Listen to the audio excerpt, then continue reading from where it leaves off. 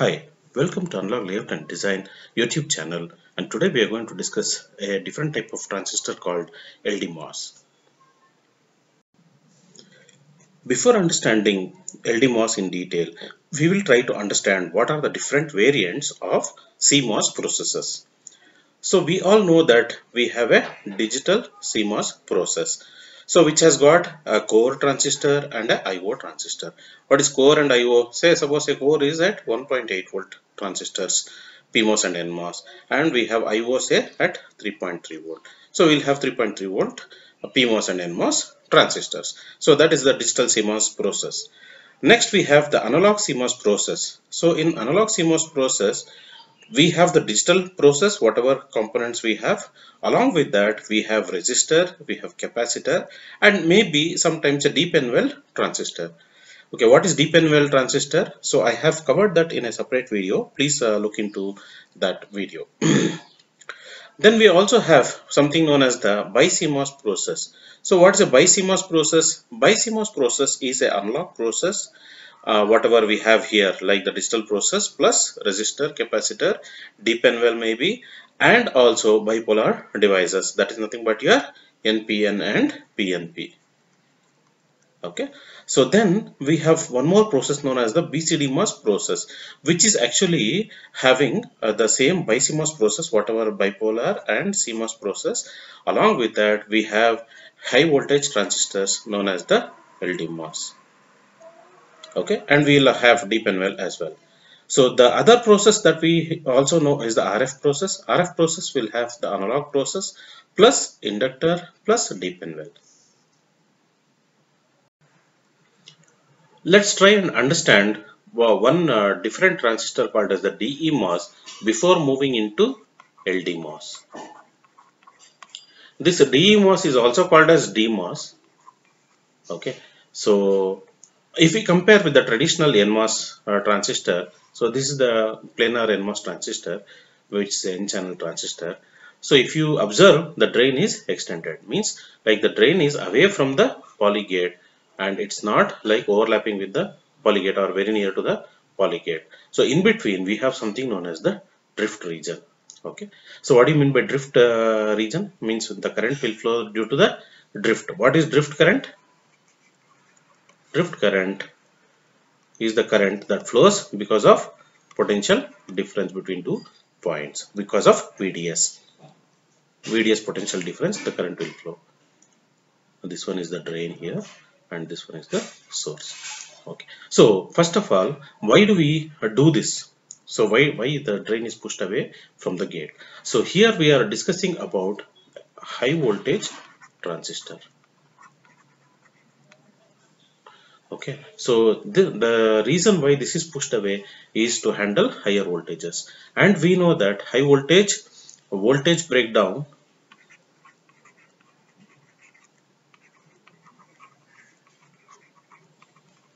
is a function of distance.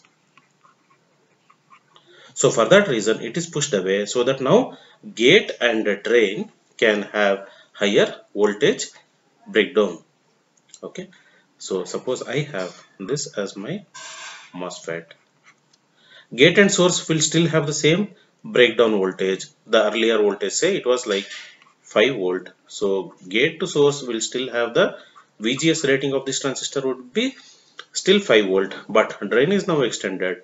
That's why the gate to drain voltage can be say if it is a 12 volt transistor it can be 12 volt and drain to source again will be like 12 volt mainly because of that distance at which the drain is situated. So the reason why we go with drain extended MOS is because of high voltage application. I told you earlier this is also called as DMOS. Okay. So what do you mean by DMOS? It is double diffusion okay? Double diffusion MOS so here we have only one diffusion n plus. Here we have n minus and also n plus. For that reason we will call it as double diffusion MOS okay. Now we will get into LD MOS so this is nothing but lateral DMOS so it is lateral DMOS so here we see the drift region being here. So this entire thing is the drift region. So it's very similar to drain extended MOS drain is at a distance for the same high voltage application. The drift region is a little bigger. So it starts from the middle of the polygate itself. And this portion is the source and this is the bulk. Okay. So if you compare with this this the drift region here is only so much whereas the drift region in LD LDMOS is like a bigger drift region n minus drift region. So that's the difference between LD MOS and the drain extended MOS. so when we go with the uh, MOS or the DE MOS, the symmetric structure is missing okay? So it is a asymmetrical device. So how do we bring back the symmetry? So what we do is we will have two of them two devices I will put them uh, next to each other juxtapose them and I will flip one of them and then make the connections in this way. As shown in this figure. So this entire thing is one LDMOS so I will flip this one and then I will have this side of the LDMOS so this is the drain and this is the drain here and this is the source and this is the source. The this is the bulk and this is the bulk. Now what I do is and this is the gate. Okay. So now what I do is I will connect the uh, drains together here. And that's how a drain is formed. I will connect the gate together. That's how a gate single gate is formed out of two gates. And I will connect the source and also bulk in the same way. These actually will be a annular structure. It will be something like this right? It will be a ring structure like this. So suppose say this is the gate. Gate 1 and gate 2 they'll be connected like a ring. So in the top view you'll be able to see this not in the front view. So hope that is uh, clear. So now it becomes symmetric. Okay So LDMOS formation is not uh, very uh, standard way uh, of formation. Different foundries will uh, make the device in a different way. Okay, let's uh, see some of the variants like somehow they do it. Okay, so this is a uh, LV low voltage LDMOS wherein you have the gate overlapping with the drain here. Okay, but the drift region is there. So you still have the drift region so this is uh, one type of low voltage LDMOS. Then you have a high voltage LDMOS wherein we have the gate but not overlapping with the drain and this entire thing is the drift region here and in between I have the LOCOS. Okay. So this is the source and P plus which are in the P well but this entire thing is the n drift region. In some applications we will need isolated LD NMOS okay. So suppose say I have a DC-DC converter. So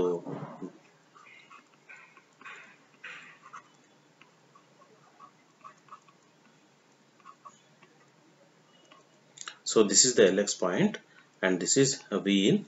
So this one normally will be a PMOS but sometimes this can be a normally PMOS sometimes it will be replaced by a NMOS because the size will be smaller. But then this ground needs to be isolated. The bulk of this should be isolated.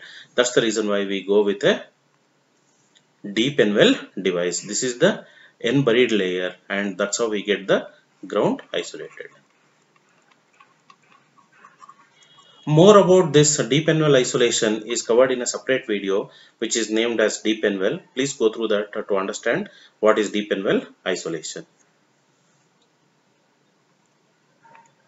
So this is one more variant. Uh, so we can see NMOS, DNMOS and LDMOS here. So NMOS is uh, this is the P substrate and we have a P well and in which uh, we have a symmetric uh, NMOS device and we have DNMOS here gate is here and drain is away from the gate and the drift region here is mentioned as N well but this is nothing but the drift region and in LDMOS which is very similar to DEMOS we have the drain much much away from the gate and in between we have like the drift region here. But in between we also have STI okay. So now this one will be generally a very high voltage transistor like 35 volt or 50 volt. We have till now seen lateral DMOS we also have something known as the vertical DMOS okay the structure.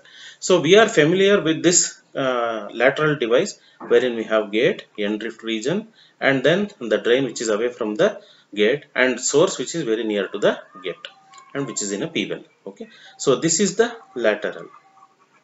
So this one if you see is the vertical. So how is it different? So we have gate and this one is the source this one is the source which is very similar to this. And then we have the P well here. This is the P well. So we have P well here. The same P well is here.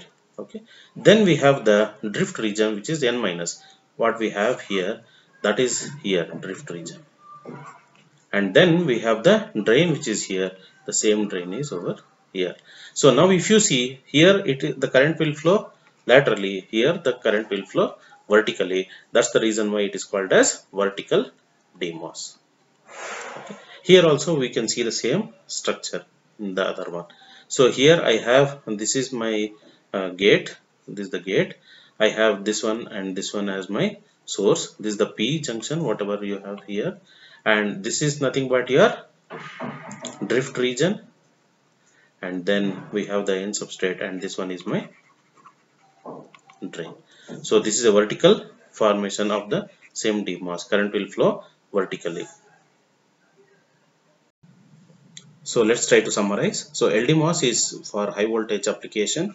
So whenever we need a high voltage transistor it is a LDMOS so and then basically it is a asymmetric device but it can be made a symmetric device by using two devices putting them adjacent and flipping one of them okay and then uh, we have seen that already. And uh, isolated LDMOS is used for the high side device in a DC-DC converter I told you earlier. So we can use in a DC-DC converter we have the power FETs this way. And this is the LC filter. This is V out. This is V in. This is ground. So here we give the PWM signal so this is the high side device which normally is a PMOS. We can replace that with a NMOS but it should be a isolated device. Then we also saw like uh, there can be a lateral structure and also a vertical structure. So it is called LDMOS and also VDMOS okay. And LDMOSs are also used in RF applications uh, like in power amplifier and other uh, components. So it is used uh, in RF applications as well. Okay so if you have liked the video mm, please don't forget to hit the like button and please share and subscribe. Thank you